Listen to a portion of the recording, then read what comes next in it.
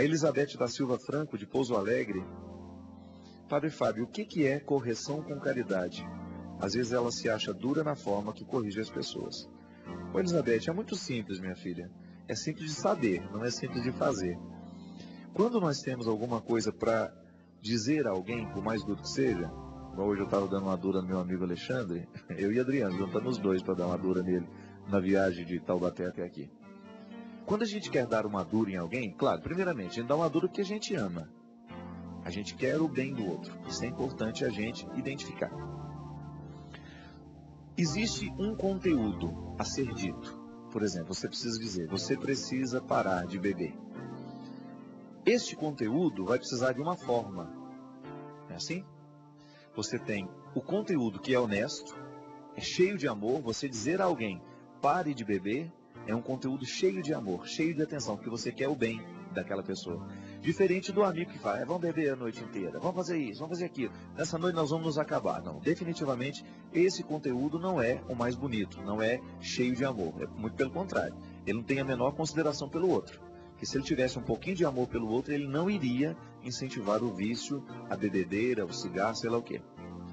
Só que a forma, quando nós que amamos dizemos pare de beber, nem sempre a forma é certa. Muitas vezes nós dizemos gritando, sem sorriso nos lábios, gritamos mal-humorados, já com a paciência no limite, tá, tá, tá, tá, a gente solta todos os cachorros em cima da pessoa. Você acertou no conteúdo, mas errou na forma. Diferente daquele amigo, e aí, vamos beber a noite inteira? Ele errou no conteúdo e acertou na forma. Porque ele falou de um jeito simpático, ele falou de um jeito atraente, ele convenceu o outro de um conteúdo ruim. Então veja bem, toda vez que nós estabelecemos comunicação com alguém, nós temos um conteúdo e temos uma forma.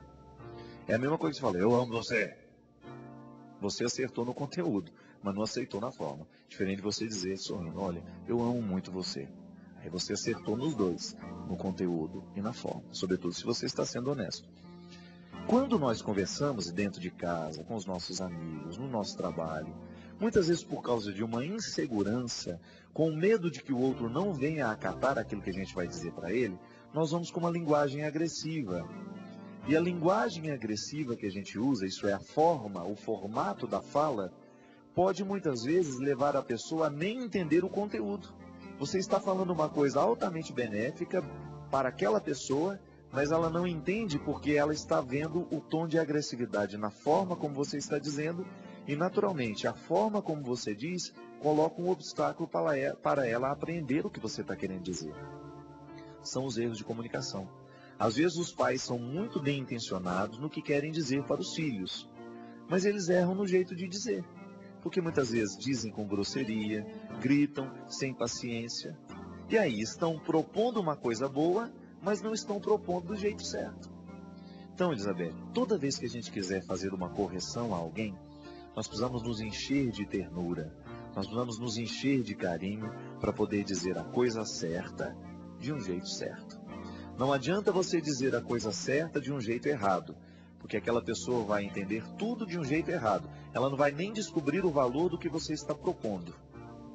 Então aí a gente perde a pessoa e muitas vezes perdemos a oportunidade de alterar de forma positiva a vida de alguém.